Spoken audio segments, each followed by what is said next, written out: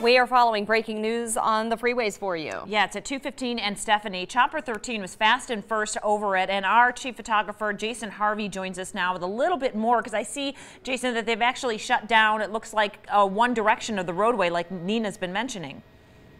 Yeah, Dana, right now 215 eastbound is shut down at Valle Verde. Uh, due to the crash that happened here just east of Stephanie, there is a person in the middle of the freeway there.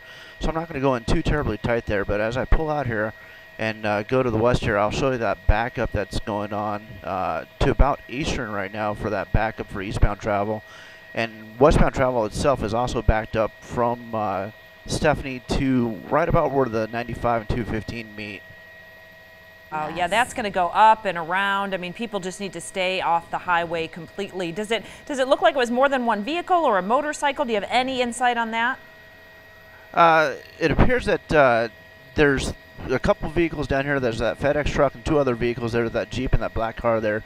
Not sure exactly what the involvement is with those vehicles there, uh, um, but uh, I'm sure that they're there to give witness down to NHP and Henderson Police Department. Oh, but again, we can confirm that it was a fatal accident, Harvey. So we're sorry to hear someone's lost their life. And boy, the backup this morning, terrible. Thanks for the pictures. Yeah, we'll keep on that one for you for sure. This is no Halloween.